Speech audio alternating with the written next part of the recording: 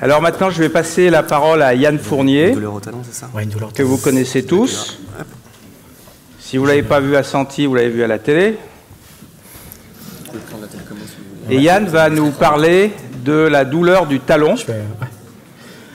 Ouais, non, tout à fait. Dans ton cabinet, face à un patient qui vient de voir qui a mal au talon, qu'est-ce qui fait que tu as un tel succès et que tu arrives toujours à trouver les bonnes solutions? Ben, c'est vrai que je suis content de présenter ce cas clinique parce que c'est quelque chose qu'on rencontre fréquemment en consultation et ce cas est quelque chose d'assez classique euh, qu'on aborde régulièrement avec des questions euh, que vous allez voir. Donc euh, Jean-Philippe H, 49 ans, ancien footballeur, niveau régional puis vétéran, jeune divorcé et en surpoids. Il a décidé de se mettre à la course à pied depuis bientôt un an parce qu'il a envie de perdre du poids et retrouver l'âme sœur. Et il présente une douleur du talon droit, plutôt plantaire, d'apparition et d'aggravation progressive à la course à pied il y a cinq mois. Malgré un repos sportif de deux mois et une consultation avec un ostéo qui lui a dit qu'en remettant l'astragale en place, tout allait aller bien, il a récidivé avec une douleur identique au niveau du talon lors de la reprise de la course, avec en plus une raideur matinale.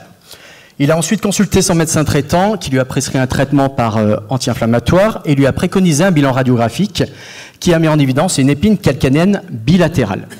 Ce médecin lui a ensuite conseillé de consulter un médecin du sport afin de trouver un moyen pour casser cette épine.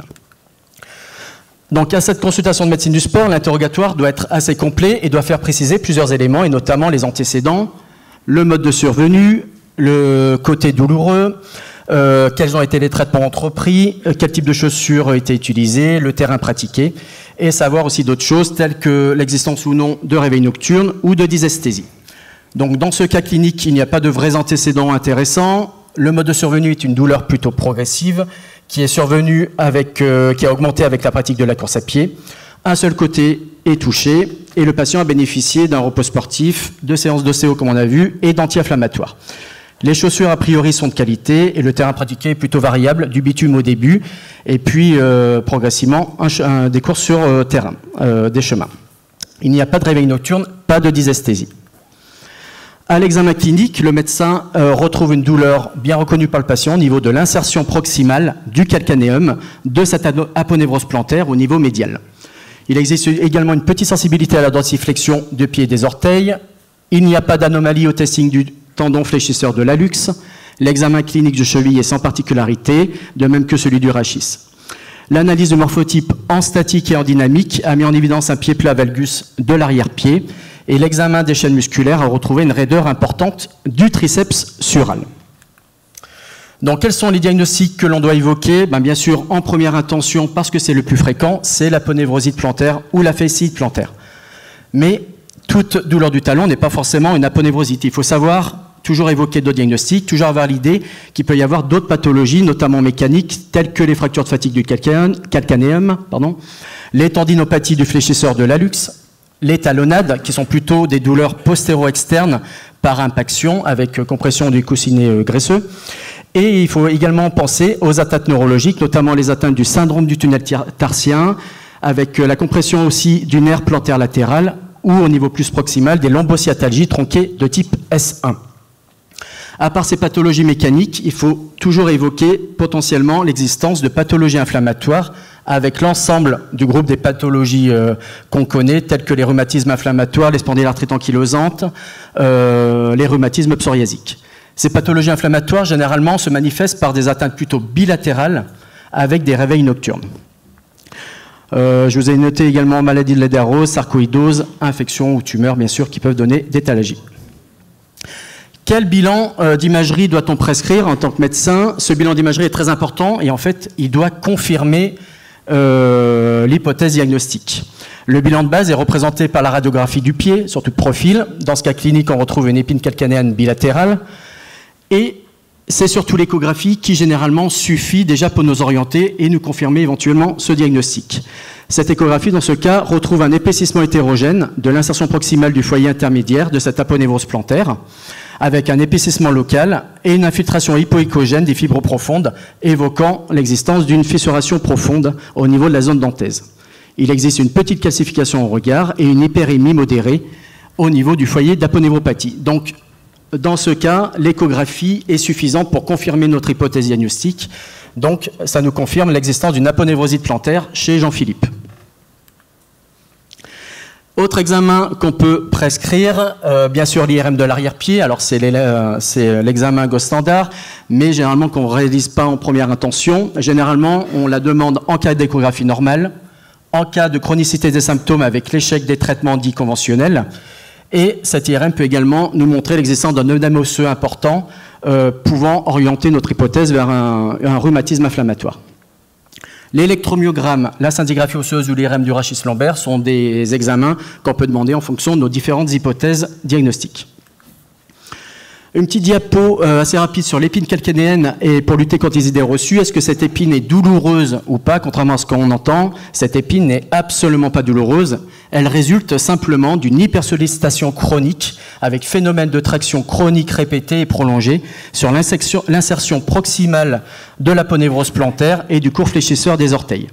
Selon les études, 32 à 40 des patients ont une épide radiographique sans douleur du talon et en cas de thalalgie mécanique, une épine est retrouvée dans 50% des cas.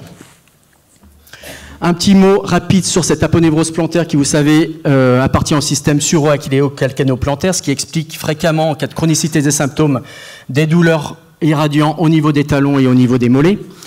Cette aponévrose a un rôle d'amortissement et de propulsion et on devrait plutôt parler euh, d'aponévropathie et plus d'aponévrosite plantaire, comme pour les tendinopathies. Car du point de vue histologique, il n'y a pas de cellules inflammatoires. Il existe des microfissurations et une désorganisation des fibres de collagène avec une dégénérescence mucoïde et fibrinoïde. Alors bien sûr, quel traitement peut-on proposer à un sportif qui présente une, une aponévrosite plantaire?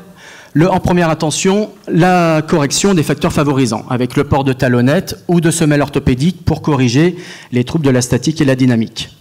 Il y a la perte de poids également très importante en cas de surpoids, des chaussures adaptées, il ne faut pas vous tromper de marque de chaussures, et une course sur terrain souple. Les traitements proposés le sont purement à titre antalgique avec les INS et euh, les corticoïdes, notamment les corticoïdes euh, dose dégressive.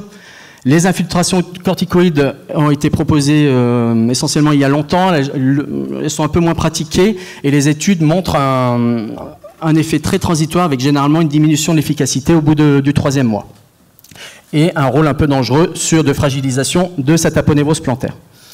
La kinésithérapie garde un intérêt pour moi surtout en phase aiguë avec euh, la physiothérapie antalgique, les massages transverses profonds, très importants, les étirements des chaînes postérieures en cas de raideur euh, mais également, il faut savoir étirer euh, cette aponévrose plantaire.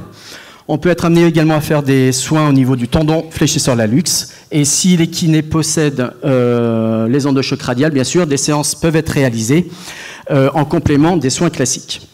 Il faut également éduquer le patient à effectuer les exercices à la maison, avec notamment les célèbres auto-massage profond avec une balle de golf ou de tennis, les rouleaux à pâtisserie, et un travail d'auto-étirement. Traitement très important, euh, le docteur Capel a l'a évoqué tout à l'heure, le, traitement par onde de choc focale. Généralement, on les réserve en cas d'échec des traitements classiques. Et nous, à Santi, euh, nous réalisons, comme vous, l'avez vu, deux séances à 15 jours d'intervalle et une troisième un peu à distance. Plusieurs études euh, randomisées sont assez unanimes sur le fait que corroborent l'efficacité de ces ondes de choc. là, ce sont des études versus placebo avec une efficacité qui persiste dans le temps. Un petit mot rapide sur l'étude euh, de tout à l'heure. Donc, en ce qui concerne euh, les aponevrosites plantaires, euh, cette étude a concerné 56 patients avec 58% de femmes, 42% d'hommes, une moyenne d'âge d'un peu plus de 50 ans, un léger surpoids, et 85% des patients avaient bénéficié au moins d'un traitement, dont 85% de port de semelle orthopédique, 68% de repos et de la kiné pour la moitié des cas. Il s'agissait d'une douleur plutôt progressive dans plus de 9 cas sur 10, avec une ancienneté de douleur de plus d'un an. Au niveau des résultats, on peut observer de façon significative une nette baisse de, l'échelle de, la douleur, un mois, voire trois mois surtout, après le début des séances d'onde de choc. À un mois de la deuxième séance, il y avait quasiment 60% d'amélioration, à trois mois 65%, et à six mois du début des ondes de choc, 73% d'amélioration. Il est à noter qu'environ la moitié des patients ont bénéficié d'une troisième séance, l'autre moitié ayant été satisfait par euh, deux séances. Enfin, un dernier traitement à proposer, mais qui doit être euh, approfondi, c'est euh, les injections de PRP. Euh, il y a actuellement peu d'études sur le sujet des traitements des aponevroses plantaires. Et comme l'a dit le docteur Carillon tout à l'heure, il n'y a pas de consensus actuellement sur le protocole utilisé. Quel type de PRP doit être utilisé? Est-ce que ce sont des PRP leucocités, des leucocités? Quel est le meilleur protocole euh, à faire? Certaines équipes utilisent une séance, une injection. Nous, généralement, nous utilisons deux injections à 15 jours d'intervalle. Euh, voilà.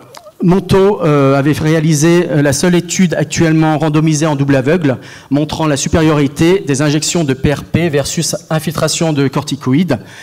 pour ce traitement des aponevrosites plantaires, il en est clairement ressorti, que les injections de PRP avaient une, efficacité plus importante que les corticoïdes à trois mois. Euh, post-traitement avec une efficacité qui durait dans le temps, contrairement aux infiltrations de corticoïdes qui voyaient la courbe euh, diminuer. Donc en conclusion, l'atalgie plantaire est un motif très fréquent de consultation en médecine du sport. L'aponevrosite plantaire en est le diagnostic principal, mais il faut toujours savoir évoquer la possibilité d'existence d'autres diagnostics différentiels, notamment les pathologies neurologiques et les pathologies inflammatoires. Cette aponevrosite plantaire est très largement confirmée par l'échographie, voire une IRM secondaire. Et je rappelle que l'épine calcanéenne n'est absolument pas douloureuse. Les traitements classiques sont représentés par les antalgiques, le port de semelle orthopédique et la perte de poids, et éventuellement les séances de kiné, bien sûr. Et on, on observe une efficacité complémentaire intéressante des ondes de choc focal et des PRP. Je vous remercie et bon derby euh, vendredi prochain.